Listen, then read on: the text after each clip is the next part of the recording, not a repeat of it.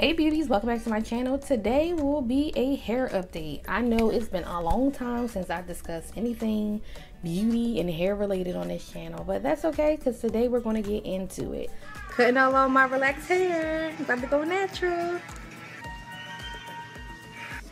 I think it's safe to say I'm fully natural. It's gone. It's all going. the little straggly ends are all going and I love it. It's shorter in the back, of course, because that's how my hair, well, it appears to be shorter. It's more shrinkage in the back, but I'm loving not having those little straggly ends anymore.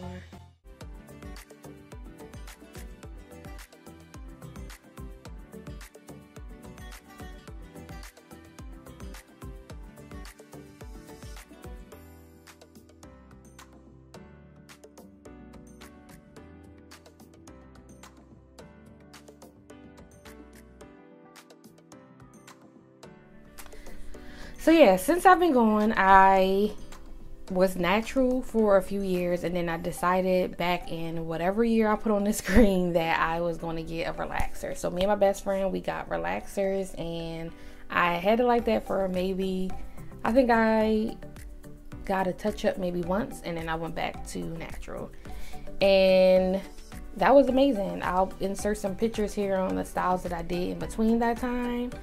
But I quickly realized I really don't want a relaxer anymore, like at all. Like I don't like the care for the upkeep when it comes to relaxers.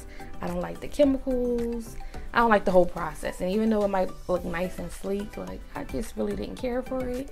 And it just reminded me that for sure I want to be natural.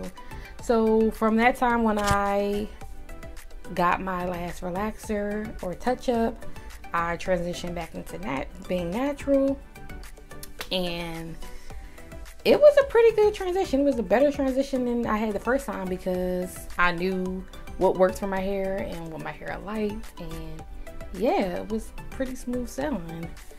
Then fast forward to last April 2019. I'm pretty sure it was April or May. I'll have it on the screen though. I decided that, hey, I want locks. Yep, locks. So that's what I did. I got locks. I went to my hairstylist and she installed some starter locks and I loved them. But whatever products that it was used was really messing with my scalp. It was causing extreme dandruff. So I had to comb all my starter locks out after like a month. No, it might have been like two weeks. Then I restarted it myself using a two two strand twist and I had them in from for about three months, maybe three to four months until last September 2019. I decided I wanted the big chop.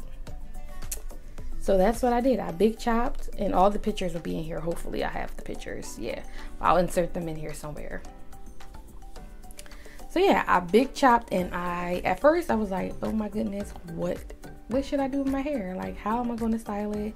This is a learning curve. Like, I've never whenever I big chop, the first couple times it was just from like I had a lot of growth. I just cut off my relaxed ends, but this time I completely had a shortcut, and that was very interesting. I, I didn't get acclimated with the products that I wanted to use for like wash and goes, which were like the easiest things I could do. And then before I knew it, it was winter, and I was like, "What the heck am I going to do with this hair?" In the winter. Like, what the heck? So, pretty much at that time, I was working in production. So, I worked in like a plant and there was a lot of bay windows, bay windows, bay doors.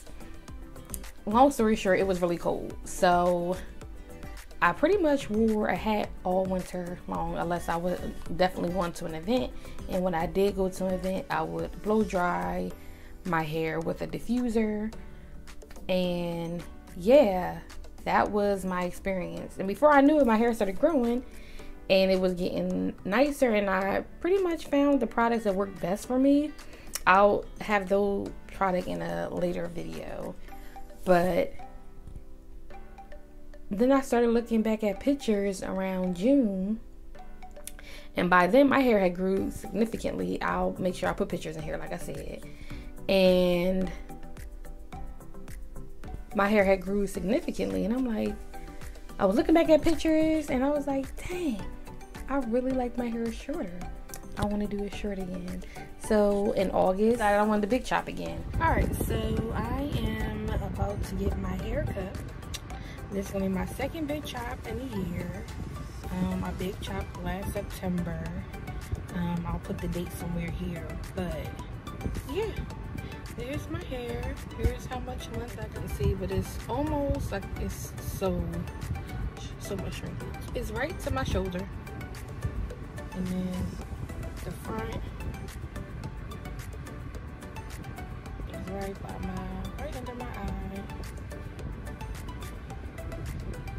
Almost at the tip of my nose. So yeah, I'm in my car. I forgot to do this while I was in the house. So excited. But let me go ahead and go in and I'll see you guys afterwards. So I'm for sure going to keep this length, if not maybe a tad bit shorter for the next year or so. I have a wedding that I'm in next June 2021 and I definitely want my hair to be short for that. Um, so I don't know how long I'm gonna rock the short cut, but I'm loving it. I love the maintenance. I'm curious to see the techniques that I'm gonna do this winter when it comes to my hair care. So you guys look out for that. And please, if you have any suggestions on what you guys do with your TWA in the winter, please list them below because I still haven't perfected it. Like, I just winged it and I, I definitely need some suggestions. But yeah, I'm going to be rocking this hair, this shortcut for at least the next year or two. Um, I do, however, still have plans to get locks because I really do want my locks. Will it be the next, after the next two years? I don't know. We'll see. But for sure, I know for the next year or so, I will be having my TWA and I love it. I love it so much. Um, I'm gonna try to give you a close-up. I do have a clip of my hair. Right now it might be a little flaky. I tried a new product and I don't know how it's coming up, but curl pattern looks good. Yeah, I do kind of want it more tapered in the back. Maybe, I don't know, because sometimes the back gets a little wonky. I don't know if you can tell. But I want to use some castor oil for my edges because that's the only thing that's kind of lacking. And I need to practice because I've never been into like laying them baby hair down and all that. I don't know anything about that so I'm gonna need to practice doing that but I just love it. It suits me yeah I, I really do love it. And I'm definitely keeping it for at least a year. We'll see. But yeah, guys, I just want to give you that update for those of you who have been subscribed for a while that and saw my recent video and like, mm, her hair is not on her head, or she got very li very little of it.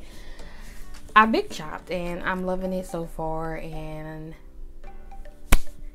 I just wanted to update you guys on that. So yeah, um, be on the lookout for some hair care reviews because I do I have tried quite a few products in the past year for my TWA, And I want to let you guys know what worked for me, what didn't work for me, what I thought was going to work, what didn't work, all of that. I also brought a few new products from a few, you'll see, you'll see. I'll be testing those out in the coming months because I want to finish the products I have now before I try something else to see what actually works. So I can let you guys know if it works or not, right? because that's where a lot of you are here for. You want to know about the products too that is working for my hair. So, yeah. Oh, I didn't mention, I think I'm 4C. I'm pretty sure I really have tight coiled hair. So, yeah, this is my 4C hair. TWA. It's really shiny too. I love it. I just love it so much. Sorry, I'm gonna stop looking myself. So I just want to thank you guys for watching. Um, make sure that you like, comment, and subscribe and hit the notification bell to get updates on when I'm uploading. Um, you should be expecting some reviews coming up very shortly. And make sure you follow me on Instagram and Twitter to keep up to date with me day to day. Thank you so much for watching, and I'll see you in the next video.